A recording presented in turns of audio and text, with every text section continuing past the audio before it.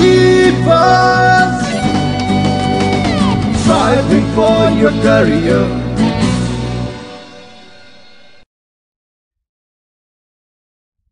Good evening friends आज हम class seventh करेंगे हमारी। ये एंशियन इंडिया का सेक्शन है जो फॉरेन इन्वेजन के साथ डील करता है। इसमें यवनास साकास प्रतिहारास और कुशनास के बारे में पढ़ा जाएगा। लेक्चर स्टार्ट करने से पहले प्लीज़ बेल आइकन को क्लिक करिए। और इस चैनल को ज़रूर सब्सक्राइब करिएगा। फॉरेन इन्वेजन जो है ना, ये शुरू हो गए थे पुष्यामित्रा की संघा की रेंज से ही। हमने पुष्यामित्रा संघा जो है, वो अभी एम्पायर पढ़ा था लास्ट क्लास में। पुष्यामित्रा संघा के टाइम पर ही यवनास का हमला हुआ था। पितांजलि एक राइटर है कंटेम्प्रेरी मीन्स उसी पीरियड में थे, पुष्यामित्रा के टाइम पे थे ये। उन्होंने भी इस इन्वेजन के बारे में बताया है।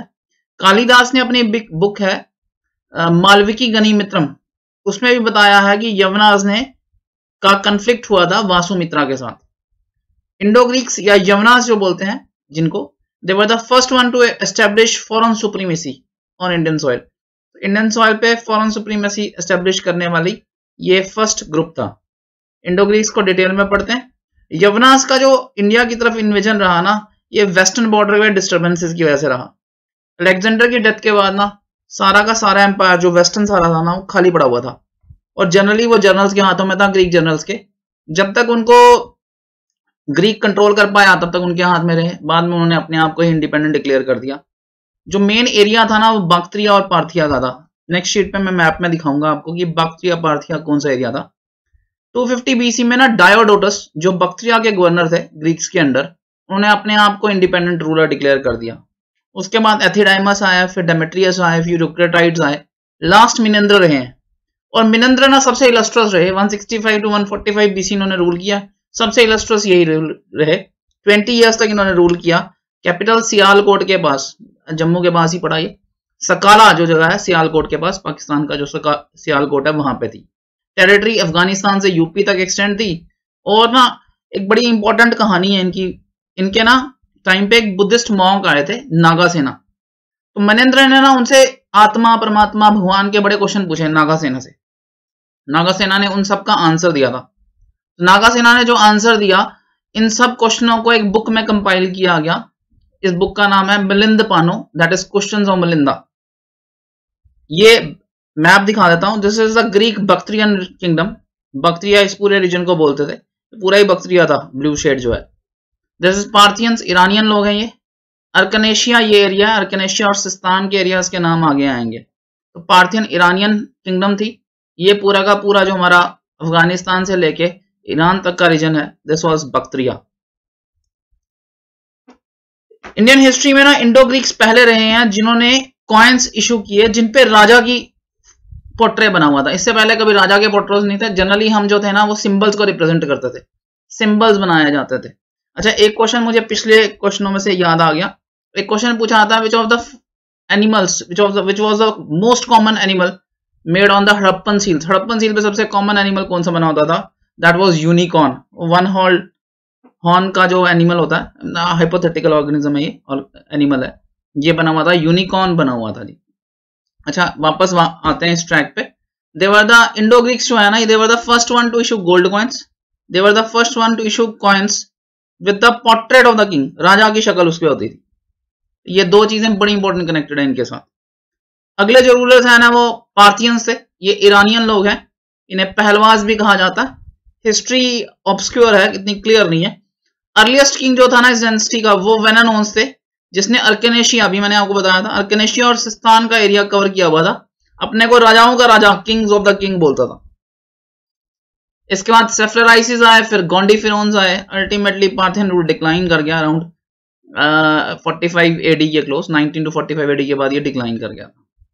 साकास को पढ़ना चाहिए जी। साकास जो है ना, ये एक सेंट्रल एशिया का बारबेरिक ट्राइब था। तो यहाँ ना काफ़ी ट्राइब्स का आपस का कंफ्लिक्ट है, उसकी स्टोरी अभी सुनाएँगे।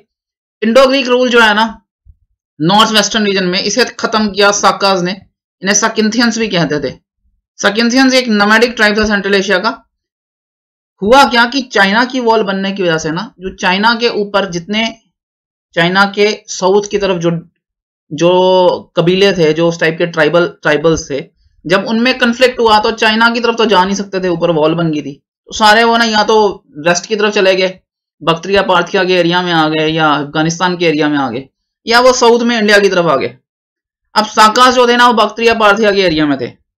सबसे पहले जो है ना, मैं लड़ाई की कहानी सुनाता हूँ आपको। तीन ट्राइब से जी, ह्यूंगनू, व्यूसन और यूची। यूची को हम कुशनाज कहते हैं।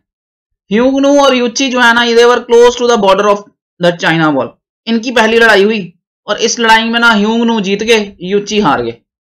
यूची कुशनाज जो है, वो हारे तो नीचे की तरफ़ आए, रास्ते में उन्हें व्यूसन एक ट्राइब मिला, उनके साथ इनकी लड़ाई हुई, उनको भी हरा दिया। फिर उनके बाद ये और नीचे आए तो ये ना साकास के एरिया में घुस गए। उन्होंने साकास को हरा दिया। जब साकास को हराया तो साकास को they were no have no option they came to India. तो कुशनाज जो है, उनके एरिया में सेटल हो गए। साकास के एरिया में, साकास इंडिया की तरफ़ आ गए और पाँच ब्रांचेस में टूट गए। तो ये कहानी है जी, पूरी स्टोरी है। इसी को हम अलग अलग ट्राइब्स में दोबारा रिपीट करेंगे। तो साकास जो सखिंदियंस थे, इनकी लड़ाई 165 बीसी में ना युच्ची के साथ हुई। मैंने अभी आपको स्टोरी को कंपाइल किया था। युच्ची कुशनास है। कुशनास ने इनको हरा दिया। कुशनास खुद हार के आए हुए थे भाई। व्यूसन के साथ इनकी जो लड़ाई हुई व्यूसन के साथ जो लड़ाई हुई, वो तो इन्होंने जीत ली, बट जो इनकी ह्यूंगनू से लड़ाई हुई थी, वो हार गए थे। तो ये खुद हार के आए हुए थे, बट जब ये नीचे साकास के पास आए तो उन्होंने साकास को हरा दिया। साकास हारे तो उन्हें इंडिया की तरफ़ आना पड़ा। वो इंडिया की तरफ़ आगे पाँच ब्रांचेस में टूट गए। Sakas cross the Bolan pass and they came to India पाँच ब्रांचेस के बाद टूटे नॉर्थ वेस्टर्न और नॉर्दर्न इंडियन ब्रांच जो है, काफ़ी पावरफुल हुई। एक ब्रांच अफ़गानिस्तान के एरिया में सेटल हुई। एक ब्रांच जो है, पंजाब में, तक्षशिला कैपिटल थी, वहाँ सेटल हुई। एक मथुरा में सेटल हो गई, एक महाराष्ट्र, सौराष्ट्र के एरिया में सेटल हो गई। एक सेंट्रल इंडिया में उज्जैन कैपिटल थी, वहाँ सेटल होगी सेंट्रल इंडियन और वेस्ट इंडियन ब्रांच जो है ना, काफ़ी प्रोमिनेंट हुई बड़ी ताकतवर बनी। और इसमें से प्रोमिनेंट रूलर रहे हुए हैं नहापाना। जो सेंट्रल इंडियन ब्रांच है, उसके रूलर रहे हुए हैं रुद्रा दमन 130 टू 150 एडी रहे हैं, आपको रुद्रा दमन का नाम जो है ना, पिछले लेक्चर्स में भी सुनाई दिया होगा। आपको याद होगा, चंद्रगुप्त मौर्य के टाइम पे हमने पढ़ा था कि जो गुजरात की सुदर्शन लेक है उसको रुद्रा दमन ने उसके डैम को ठीक करवाया था। तो उसने लिखा था कि ये चंद्रगुप्त के प्रोविंशियल गवर्नर पूर्व गुप्ता ने बनवाया था। तो ये लेक्चर हमने वहाँ अटेंड किया हुआ है। तो अगर आप लेक्चर्स के साथ कंसिस्टेंटी कंसिस्टेंसी चाहते हैं तो प्लीज़ क्या करें? शुरू से हर एक लेक्चर को स्टेप बाय स्टेप पढ़ें। प्लीज़ नोट्स बनाएँ। This is all NCERT based technically papers के हिसाब से बना हुआ है। This is not these lectures are not for general entertainment purpose they are basically for cracking exams तो एग्ज़ाम के हिसाब से बने हुए हैं। एनसीआरटी बेस्ड इंफॉर्मेशन है। Specifically eleven twelfth NCERT books जो पहले ओल्ड बुक्स आती थी, अब नहीं आती हैं। आज सिर्फ़ 10 से 12 साल पहले एनसीआरटी की बुक्स आती थी। एंशियंट और मेडिवल हिस्ट्री जो थी, उन्होंने रखी थी in the eleventh class and the modern and the contemporary world they were in the twelfth class ये उन बुक्स से कंपाइल किया हुआ है एनसीआरटी का ओरिजिनल डाटा है। तो आप ये रेफर कर सकते हैं। अगर आप चाहेंगे तो आप मुझे मैसेज करिएगा, मैं बुक की आपको सॉफ्ट कॉपी जो उसके प्रिंट हैं वो भी दे सकता हूँ। I can send you mail of the important sections of the book if you require it अब ये बुक आती नहीं है बेसिकली मार्केट में। ठीक है जी? जूनागढ़ रॉक इंस्क्रिप्शन है। अभी हम बात कर रहे थे रुद्रा दमन का। इसने बताया है कि इसके पास गुजरात, सिंध, सौराष्ट्र नॉर्थ कोंकण, मालवा, राजस्थान के एरिया से मैंने अभी आपको बताया कि इसने सुदर्शन लेक को जो है ना, उसके डैम को ठीक लाया था जी। ये डैम ना आज की तरह सीमेंटेड तो थे नहीं। कच्चे डैम होते थे। हर दो तीन सौ सालों में ना रिपेयर करने का टाइम आ जाता था। तो ये चंद्रगुप्त ने बनवाया। तीन सौ साल बीत गया थ्री ट्वेंटी फोर बीसी में चंद्रगुप्त आया हुआ है। तीन सौ साल बीत गया तो डैम रिपेयर के लिए आ, की हालत में आ गया था। तो इसे रिपेयर करवाया रुद्रा दमन ने। फिर दो तीन साल सौ साल बीते तो इसे फिर गुप्ता एम्पायर में दोबारा रिपेयर करवाया गया था। तो ये बार बार रिपेयर हुआ है। उज्जैनी रुद्रा दमन की कैपिटल थी। कहते हैं जो साका एरा है ना 78 एडी से शुरू होता है। 78 एडी में वर्नल इक्विनॉक्स। इक्विनॉक्स वो होता है जब दिन और रात बराबर होते हैं। तो वर्नल हो गया स्प्रिंग का। स्प्रिंग का जो ऑटोनॉक्स, इक्विनॉक्स था, ये उस पीरियड में शुरू हुआ हुआ है 78 एडी में। ये साका पीरियड है। कहते हैं कि साका पीरियड यहीं से शुरू हुआ था। आगे और डिटेल में बताऊँगा इसके बारे में। लास्ट किंग जो है ना साका एम्पायर का, वो चंद्रगुप्ता टू जो थे, गुप्ता डेंसिटी के, उनके हाथों हरा था। इसमें भी एक बड़े मज़ेदार स्टोरी है। जब चंद्रगुप्त टू ने इनको हराया ना तो उन्होंने फिर अपना नाम बदल लिया था और नाम रख लिया था विक्रमादित्य। विक्रमादित्य जो है ना आपको विक्रम बेताल की कहानियाँ आपने सुनी हुई है तो उसमें यह नाम आएगा। तो जब हम गुप्ता एम्पायर पढ़ेंगे तो ये उसमें भी दोबारा कवर होगा। कुशनास युची या जो कुशनास थे, ये नोमेटिक ट्राइब था नॉर्थ वेस्टर्न बॉर्डर चाइना का। मैंने बता दिया 165 बीसी में इनकी लड़ाई हुई थी ह्यूंगनू से। हार गए थे इनको नीचे आना पड़ा। नीचे आए, चाइना वॉल बनने की वजह से ऊपर तो जा नहीं सकते थे, नीचे ही आना पड़ा। नीचे आया तो इनको रास्ते में एक ट्राइब मिला, व्यूसन। उसको इन्होंने बड़े आराम से हरा दिया। उसको हराने के बाद ये दो ब्रांचेस में टूट गए, एक तिब्बत की तरफ़ चले गए लिटिल यूची एक फाइनली इंडिया आ गए। व्यूसन के बाद यूची को जो नेक्स्ट ट्राइब मिला, वो बख्तरिया पार्थिया के एरिया में साकास थे। इन्होंने साकास को हरा दिया। साकास इंटर्न इंडिया की तरफ़ आ गए। ये उनके एरिया में सेटल हो गए। इन्होंने अपनी नोमैडिक लाइफ छोड़ दी। एग्रीकल्चर और सेटल लाइफ इन्हें वहाँ से मिल गई तो वो उन्होंने एक्वायर कर ली।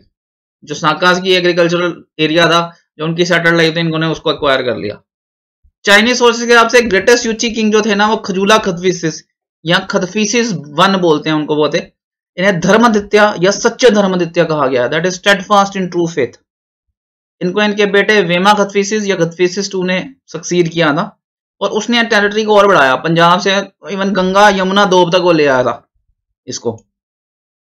इसने गोल्ड और कॉपर कॉइन्स इशू किए शिवा का डिवोटी था शिव भगवान जी का डिवोटी था। इसको सक्सीड किया Kanishka Kanishka most illustrious king रहे हुए हैं जी। ग्रेटेस्ट कुशना किंग रहे हैं। अराउंड 78 एडी इन्होंने थ्रोन एक्वायर किया था 101 एडी तक रूल किया। कहते हैं कि 78 एडी में जो ये, जब कनिष्का ने एक्वायर किया तो 78 एडी से ही साका एम्पायर शुरू हुआ है।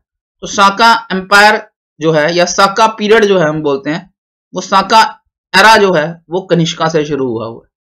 कनिष्का ने ही साका एम्पायर या साका एरा स्टार्ट किया। बट ये हिस्टोरियन कुछ हिस्टोरियन का मानना है there are lord of concept connected with Saka era एक कंसेप्ट ये भी है। कनिष्का के टॉप ऑफ़ द टाइम पे ना, कोटान से लेके एम्पायर नॉर्थ वेस्ट में, बनारस ईस्ट में, और कश्मीर से लेके सौराष्ट्र, मालवा, नर्मदा वैली के बॉर्डर तक साउथ तक एम्पायर था। तो काफ़ी बड़ा एम्पायर था जी कनिष्का के पास। कनिष्का की कैपिटल पेशावर के पास पुरुषापुर थी, बुद्धिज्म के फॉलोअर थे। फोर्थ बुद्धिस्ट काउंसिल इनके टाइम पर हुई है। वेरी इंपॉर्टेंट क्वेश्चन बहुत बार आया हुआ है कश्मीर में हुई है जी। Fourth Buddhist council Parshva, Vasumitra अश्वघोषा Charaka Nagarjuna. Charaka से चारक समिता है। आयुर्वेद की बहुत बड़ी बुक लिखी हुई है इन्होंने। तो ये सारे इसकी कोर्ट के मेंबर थे। इनके बाद राजा जो अगले बने, उनमें वशिष्ठ हविष्का लास्ट राजा जो है, वासुदेव हो गए। तो they were Indo Chinese but the last name is purely the name of a god of a Hindus तो लास्ट नाम हिंदूज का भगवान का नाम आ गया। इसका मतलब है कि इनकी प्योर इंडियनाइजेशन हो गई थी इंडिया में। This shows the pure Indianisation of Kushanas Vasishka के बाद कुशनास जो है फोर्थ सेंचुरी एडी तक रूल करते रहे बट एम्पायर काफ़ी डिक्लाइन हो गया था। आज यहीं तक करेंगे। ये फॉरेन इन्वेजन से खत्म करने से पहले सक्सेस जो है ना it consist of going from failure to failure without loss of that enthusiasm you have अपना फेलियर से घबराए नहीं। फेलियर में दोबारा खड़ा होके अगले फेलियर के लिए तैयार होना, अगली लड़ाई के लिए तैयार होना, उसमें फिर गिरना, फिर तैयार होना, फिर गिरना, फिर तैयार होना, यही लाइफ है। और अल्टीमेटली सक्सेस इसी से आती है। लोग जब बड़े सक्सेसफुल होते हैं ना तो वो दूसरे उन पे बड़ा रोश करते हैं, सोचते हैं, यार, ये कितना सक्सेसफुल है।